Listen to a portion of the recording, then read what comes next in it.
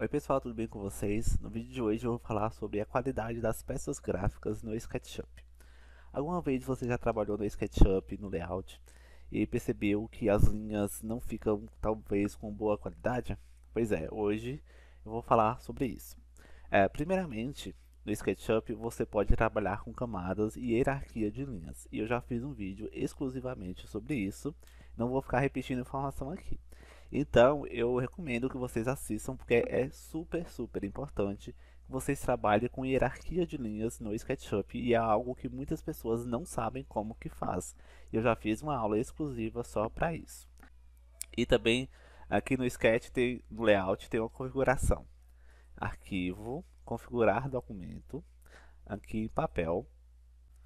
A resolução de tela média, quando você deixa em média em, ou em baixa, isso significa que você vai trabalhar com o layout de forma mais fluida, né? porque o arquivo vai dar uma compactada e vai ficar mais leve.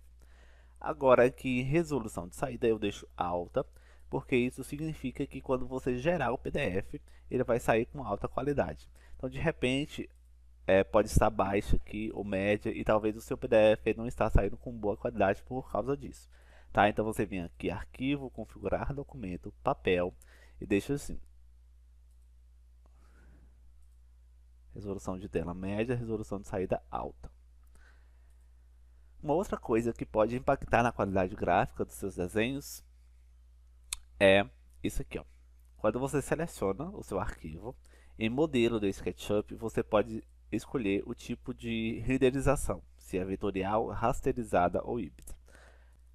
A vetorial ele vai transformar essas linhas em vetor, ou seja, vai ficar com muito mais qualidade, porém o que significa que mais qualidade gráfica, mais desempenho do seu computador. Então, de repente, isso aqui pode ser não ser uma, opção, uma boa opção para quem tem um não tem um bom, um bom PC, por exemplo. Então, se o seu computador costuma travar muito utilizando o layout, talvez trabalhar com vetorial não seja uma boa opção, tá? Então, deixa aqui em raster mesmo. Agora, se você quer mais qualidade gráfica, se você coloca em vetorial, ele vai ficar com mais qualidade.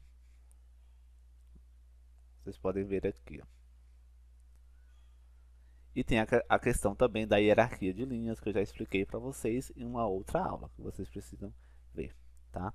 Então, quando vocês colocam uma, é, em vetorial, eles transformam a linha em vetor, então ele fica com mais qualidade gráfica. Só que o arquivo também fica mais pesado.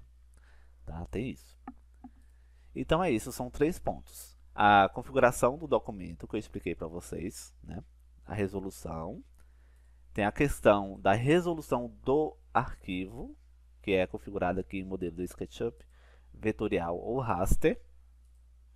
E tem também a questão da configuração de hierarquia de linhas. Assim você vai é, conseguir ter uma melhor qualidade nas suas peças gráficas do SketchUp barra layout. É isso, o vídeo vai ficando por aqui e até a próxima.